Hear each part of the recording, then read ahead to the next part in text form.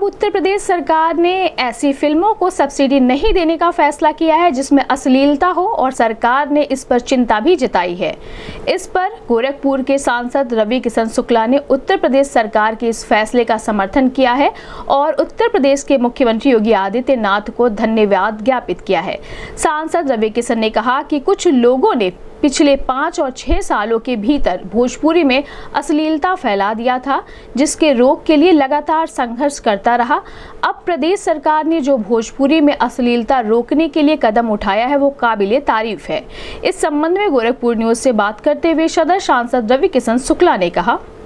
धन्यवाद, मैं देना चाहूँगा पूज्य योगी महाराज जी को, उत्तर प्रदेश सरकार को, ये निर्णय लेना कि जो भी भोजपुरी फ़िल्म में अश्लीलता हो, अश्लील गाने हो, समाज को खराब करने वाली बात हो, समाज जिससे दूषित होता है, भोजपुरी समाज पर आरोप लगता है या हमारी बोली पर, माँ की बोली पर, उसको सरकार से अनुदान जो सब्सिडी कहते हैं, उत्तर प्रदेश सरकार से मिलती थी, वो अब नहीं मिलेगी।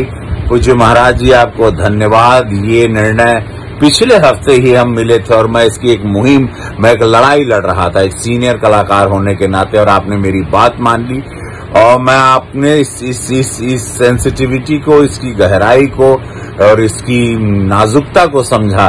मैं आपको धन्यवाद देता हूँ और एक बहुत बड़ा बहुत बड़ी एक सीख होगी एक बहुत बड़ा चाबुक होगा उन सब के लिए जो भोजपुरी में अश्लीलता परोसते हैं। जिन्होंने पाँच छह साल में आके भोजपुरी को एक गंदा मार्केट बना दिया था, हम लोगों को शर्म आती थी।